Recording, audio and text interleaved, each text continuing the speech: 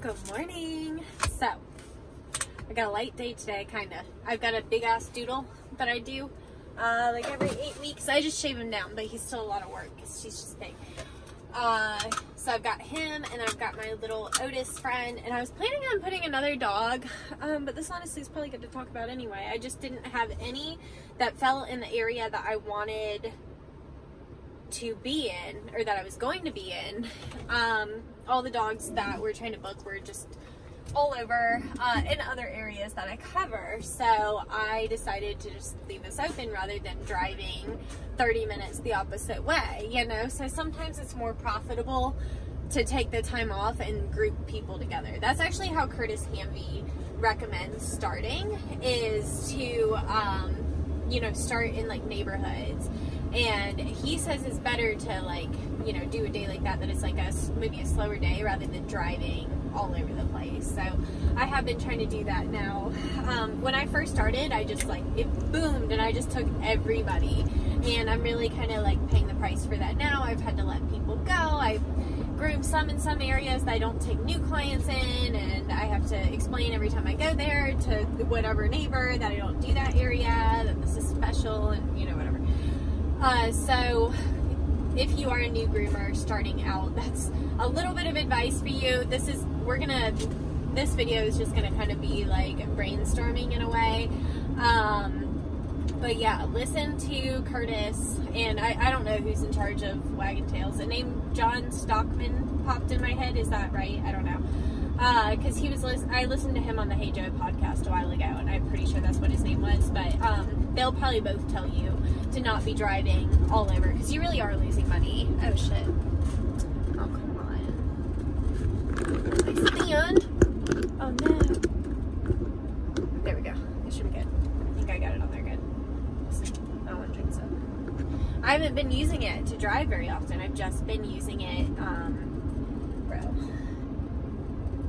lady. Um, I hate when I get, I've said this before, but I hate when I get in the car and I'm behind somebody that's going like really, really slow.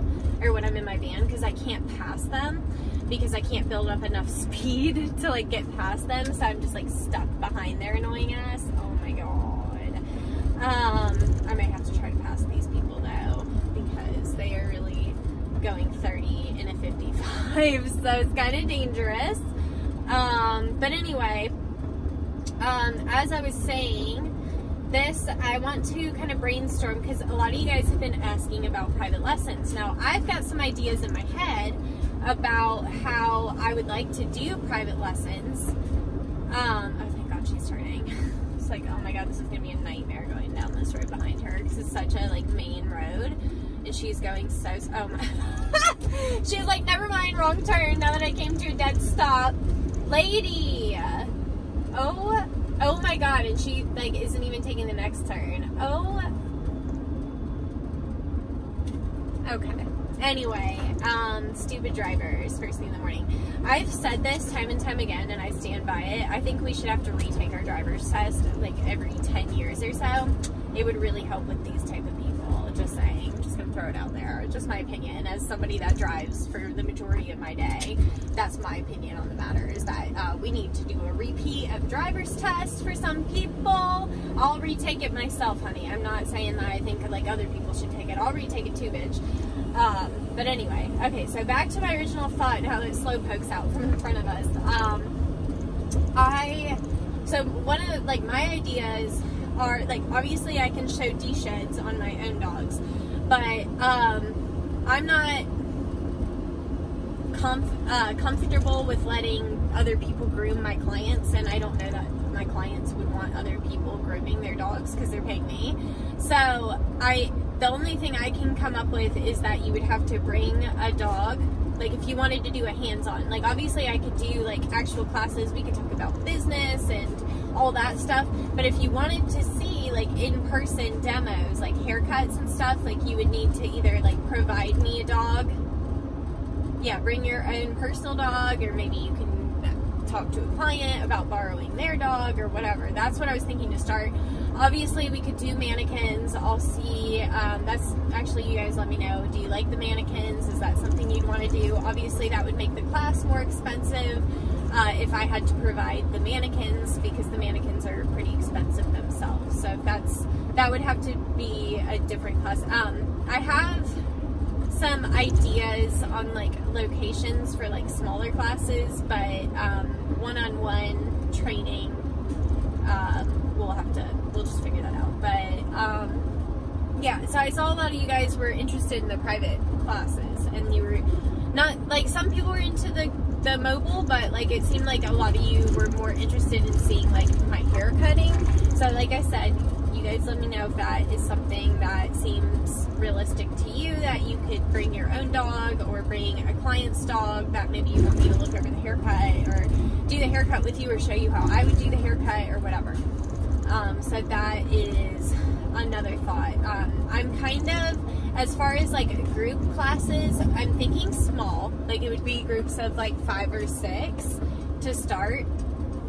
Uh, and then, sorry, I, I, was thinking for a second which way I had to go to get to this client's house. Um, anyway, so I was thinking like small groups to start. Uh, and we're obviously this is like probably six months out before the classes will like actually start and i'm really just to see kind of how everything's going i know that they're planning the atlanta pet fair so i'm to stand back and watch and see how that goes obviously there was just the super bowl with like a bunch of people gathered so i'm kind of just waiting to see like how things change as the vaccine is introduced and all that okay so that's part of the reason that I'm waiting. Also, I want to make sure if I'm going to do this that I do it right, and that's why I'm involving you guys in planning this because this is a class for you guys. Like, of course, I'm going to benefit because it's not going to be free. So, like, of course, I'll make money for like my time or whatever, but at the end of the day, this is for you guys more so than me. So, I want to make sure that the classes I have that they're set up to where they are very efficient and that you would leave learning a lot and have like a new level of comfort in your grooming. You know, that's really like my goal.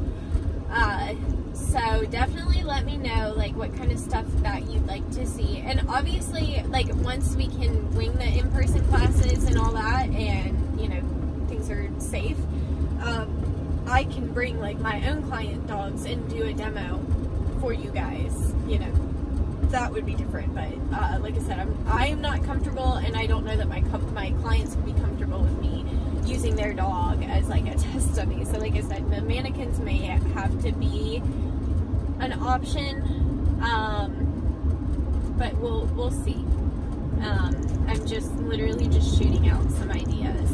And then obviously classes like uh, I know I've seen a lot of you guys talk about you want to do like a full on shampoo class. Um, that one obviously I could do. And I'm gonna look into doing like I don't know if you guys like like the Zooms. Let me know. Do you guys like the online learning? I'm not a huge fan of it for me per se. I don't think I learn as well online as I do face to face. So that's not what I was thinking for right now. I was more focused on like face to face learning.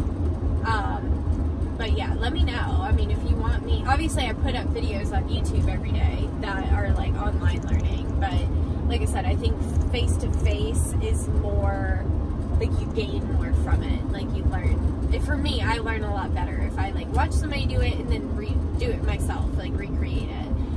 Um, so you know, that's why I was thinking like the mannequins or model dogs or whatever. If it was to be a haircutting themed class, and then for the mobile van, I would uh, the mobile class that I'm planning, I would definitely bring a dog for that so that you guys could see a dog go through the groom process in the van and ask questions as I'm doing it.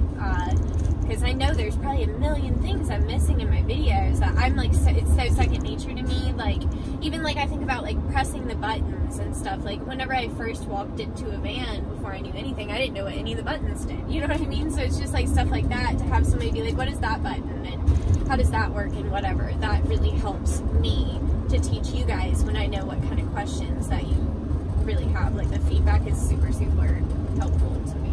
So um, that's why I keep coming to you guys with feedback. And I really appreciate that you guys seem really excited about the classes because I know I'm really excited about the classes. Um, so yeah, there's my gas station bag. Um, but I, go to the same gas station every day and he like owns it, I think. but yeah, um, lots of ideas right now, and I'm getting really excited about it. Um, I'm just like right now, with everything's in my head. I haven't started like actually writing anything down yet. It's still something I'm working with my accountant on because like there's gonna be like more nitty gritty stuff I'm gonna have to deal with, like you know taxes, that kind of thing. Um, so just gotta make sure everything is done right and I want to make sure that these classes are something that are beneficial to you guys and it's something that you guys are excited about. Also, let me know, are you guys into like this, like, you know, like Blake, how the fuck did that happen? Like Blake Hernandez at his retreat, he does like the swag bags and stuff. Are you guys into like the swag bags? Or, cause like I'm sure like I could reach out to some companies and get you guys like a little bag or something to promote their stuff. Like it would be obviously I wouldn't reach out to a company I don't personally use. It would be like I would try to reach out to like Hydra and iGroom and whatever, and that would like be included with your class. Maybe Bardel, maybe DMK. The stuff that I use constantly. Reach out to those companies and see if they would want to give goodies to the the group or whatever because I'm thinking like I said like a small group to start like five people or so. I'm scared like I'm like is that enough like but I don't want to like over like I want to make sure everybody has time. I obviously I'm gonna need to do some trials of class and you know to kind of see how it's gonna go. You know what I mean? Like it's there's a lot of planning that goes into it. That's why uh, there was somebody that commented on one of my last videos where I was talking about private lessons and they were like, I asked you, you told me to go to grooming school. It's because like I really knew like this was not gonna be some easy small thing that I was gonna be like, oh I'll just teach classes, it'll be so easy. Like I knew it was gonna be like some in-depth thing, like nobody's gonna wanna pay me if I haven't even like thought this through. Sorry this is like so angled, but I really can't fix it right now. I'll fix it when I get up to the light if I am able to stop. But um you know, I didn't want to waste anybody's time or commit to something I didn't have time for. So I am like reworking my personal schedule. Uh, I have been talking about going down to four days a week for a really long time, and I believe I'm finally going to do that um, because I really am not going to have time to like have any time by myself if I don't take off an extra day if I'm going to do these classes too. Obviously, that will be extra income, so it'll balance out in the wash. Like, I can work less. And maybe that extra day off will be sometimes used to do a private lesson, so maybe some days. Like, I wouldn't mind doing a ride along where somebody, like, watched me in the van. I've done that before, and I'm fine with that. Um, but like I said, I just wouldn't be comfortable with handing somebody shears or a clipper and be like, here, work with my client that's paying me a lot of money to groom their dog. You know what I mean? It's not anything personal or that I don't think you guys are capable. It's more so that that's the under the agreement between me and my client is that I'm going to be grooming their dog. You know what I mean?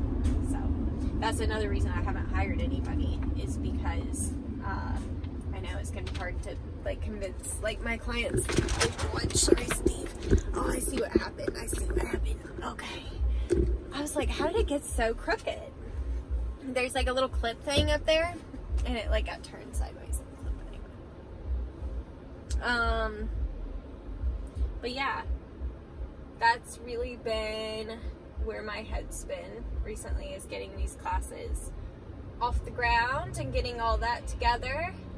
Uh, you guys, I've been thinking really hard. I've been a vegetarian for almost seven years. I think I'm gonna eat fish. Like, I've been thinking really hard about it. You guys know I'm like super big into like science and stuff. And like, it's just been, I don't know, like a reoccurring theme that like, it'll come to me. I'm like, maybe I should eat fish, and then I'll let it go and come. And then, you know, and it's mainly like for health reasons. Like, I want to make sure, like, I'm getting all of what I need, and like fish oil and stuff is so good for you. And like, I just think health wise, if I add fish to my diet, it probably be healthier. And it's not going to be like an everyday thing. I'm still going to mainly eat vegetarian, but like I said, I think that the fish oil and stuff is like really good too. And I probably should be taking more vitamins and shit. Like I just want to make sure I'm like taking care of my body because really for the last year, and this is like really deep, and I don't have time to go into this whole thing right now, but I like went obviously through a really rough breakup. And I kind of stopped giving a shit about myself. Like I was kind of like in autopilot because I had to work so much and whatever. So it was easier to just chug like a million Red Bulls a day and eat chips and whatever. And it was just kind of like whatever. I don't care. Like I don't, you know what I mean? And now I'm like getting to that point of like being like, well, I actually do care, and I've got a lot of really good things going for me. And it's like I'm so much bigger and better of a person than just somebody's girlfriend. Like I know I have more than that to me. And it's like for this, for the last like 10 years or so, that's all I've been is just somebody's girlfriend. And like I said, I just think I'm worth so much more than that. And I'm uh, trying to prove that maybe to myself and to, I think actually most people see it in me more so than I see it in myself. But uh, yeah, I'm trying to prove it to myself that I'm a fucking badass lady. Um, I really like. I was just listening to Miley Cyrus on the Joe Rogan podcast. It's really good. If you haven't listened to it, I'm almost done with it, but I really wanted to make a video.